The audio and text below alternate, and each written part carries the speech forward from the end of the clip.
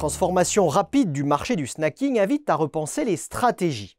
Jusqu'ici, les marques ont largement surfé sur la hausse des prix et le report des consommateurs sur les produits alimentaires les moins chers, type sandwich et salade.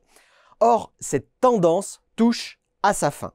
Nos experts Xerfi anticipent un coup de frein des ventes sur plusieurs segments, comme celui de la pause déjeuner confrontée à la diffusion du télétravail et du fait maison.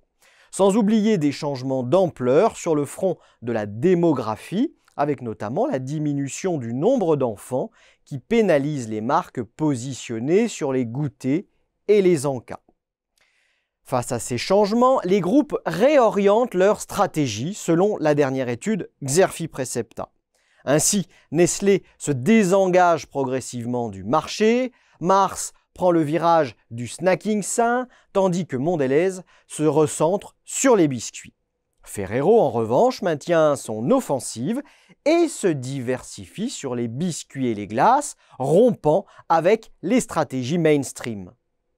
Parallèlement, les marques cherchent des circuits de distribution alternatifs et des nouveaux points de contact avec le consommateur.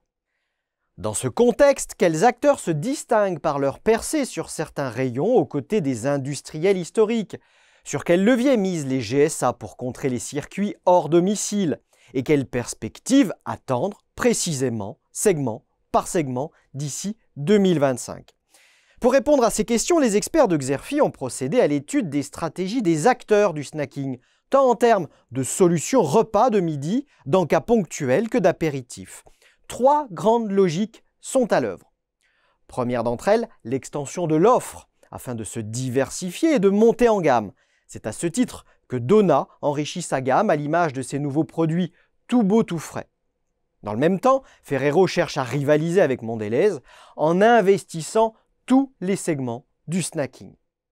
Deuxième stratégie, le packaging comme levier de différenciation. Tel est le cas de Bell qui s'oriente vers des emballages éco-responsables face à un consommateur de plus en plus soucieux de l'impact environnemental et sociétal des produits qu'il consomme. Enfin, dernière stratégie sollicitée, celle du développement de nouveaux circuits de distribution. À ce titre, Sodebo collabore avec les buralistes afin de proposer son offre de sandwich au sein de 23 000 bureaux de tabac de l'Hexagone. Parallèlement, LDC s'est associé à Asia General Food pour se positionner sur le marché dynamique des stands en GMS, tandis que Piccadilly projette d'ouvrir 1000 bars à salade en GSA d'ici 2027. En parallèle, les enseignes de grande distribution s'essayent à la restauration, à l'image de Carrefour avec Bon Appétit ou Monoprix avec la cantine Monop Daily.